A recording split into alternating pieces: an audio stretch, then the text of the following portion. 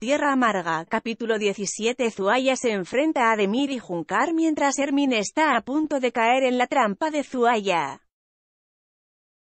Sermin se quedará helada cuando descubra, no solo que ha sido estafada, sino que el hermano de Zuaya ha muerto y ya no podrá recuperar jamás su dinero.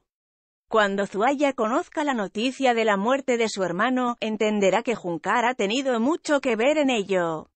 Sermin, desesperada, confesará sus miserias a Zuaya. Ambas se acercan cada vez más. Juntas disfrutarán de un paseo en el nuevo coche de Zuaya. De repente, el coche tiene una avería y se detienen, pero, aparece Yilmaz y logra repararlo, permitiendo que Zuaya y Sermin regresen a la mansión.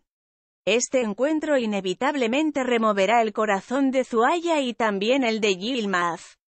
Poco después, Sermin sembrará dudas en Juntar. Más tarde, Zuaya tendrá un enfrentamiento con Demir y Junkar durante la cena.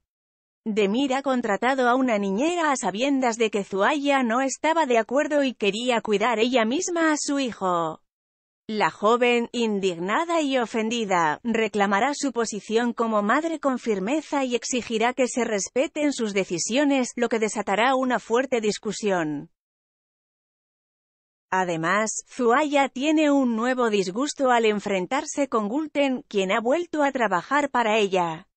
La mujer no perdona a la criada, que trata de disculparse, por no haberle entregado a su amado sus cartas cuando estaba en prisión. Por su parte, Yilmaz decide viajar a Estambul, donde quiere entrevistarse con uno de los empresarios más poderosos del país. Si la reunión sale bien, tendrá mucho apoyo económico para poder luchar contra sus enemigos. Finalmente, Sermin está a punto de caer en la trampa de Zuaya.